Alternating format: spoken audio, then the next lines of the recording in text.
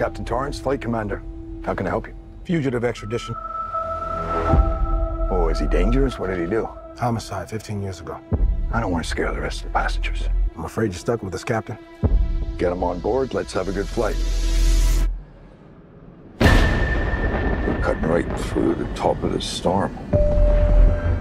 Let's keep everybody in their seats, no exceptions, all right?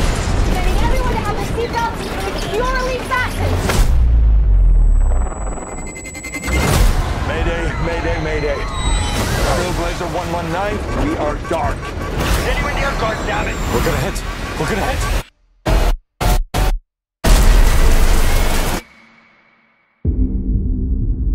They went down somewhere in the Jolo Island cluster. It's run by separatists and militias. The Filipino army won't even go there anymore. The clock is ticking. Every minute matters. We can count those minutes in lives, lost or saved. Guys, wait, wait, get back, get back! We don't know who it is! We don't know who it is! Get back! Listen carefully. This is an emergency. I'm Captain Brodie Torrance.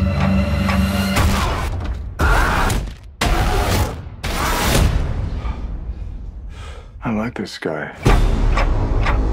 Name! Country! Maxwell Carvel, England. Name. Country.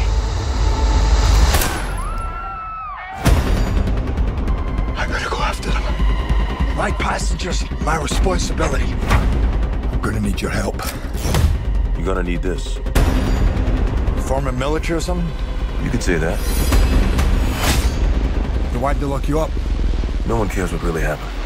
But they say redemption can be found in the most unusual places. If you do this, you'll probably never see your family again. What about their families? I have a daughter, and I have every intention of making it home. They're gonna come at us with everything they've got. We're getting off this island.